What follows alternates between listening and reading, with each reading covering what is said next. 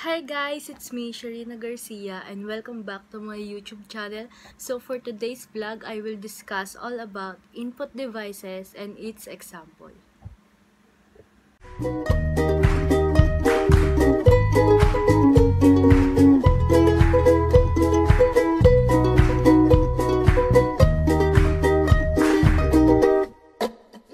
So first, let's define input devices.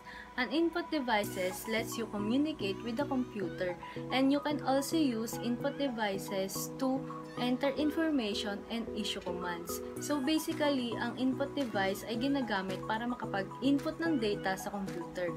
Ang common example ng input device ay mouse, keyboard, scanner, digital camera, joysticks, and touchpads. The most common input device today is the keyboard. It is used to type data into the computer. It has special keys for giving computer commands.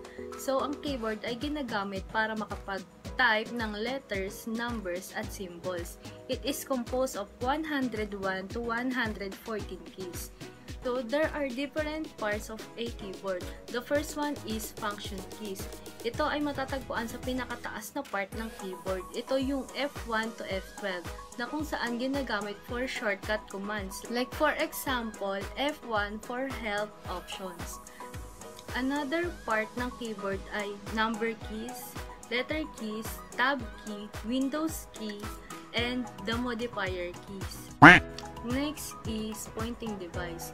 It is used to move some objects into the screen and can do some actions. The most common pointing device is a mouse. It is used to choose and open program in data files. It is represented by an arrow sa monitor na kung saan na tinatawag na mouse pointer. Another pointing device is the trackball. Ang trackball is basically an upside-down mouse. Ito ay ginagamit to move the cursor position from one location to another. Another pointing device is the joystick and game controller.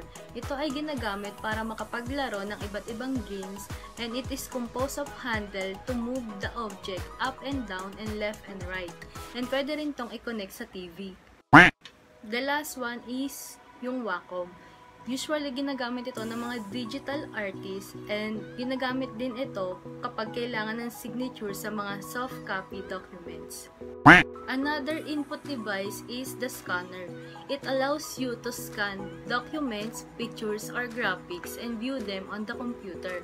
You can also use software to edit the item you scan. Ito yung ginagamit natin to convert the hard copy to a soft copy. The next is digital camera. It is used to take electronic pictures of an object. The pictures taken by the digital camera can be used directly to the computer. So, ang digital camera ay nagagamit para makapag-upload tayo ng photos sa ating computer. And meron din tayong tinatawag na webcam or built-in camera na gagamit natin kapag meron tayong ka-video call online. The next is microphone, which is used to put sound into a computer. So, ginagamit natin to para marinig tayo ng kausap natin sa kabilang line at para ma-record ang voice natin. The last input device is the CD-ROM or the DVD-ROM. It can be used to put both sounds and images into a computer. It uses a laser to read the compact disc or the DVD. So usually, ang CD-ROM or DVD-ROM ay ginagamit natin para makapag-install ng software. And that's all for this vlog. Sana may natutunan kayo kahit konti. And don't forget to like, comment, share, and subscribe to my channel. And see you on next vlog. Bye!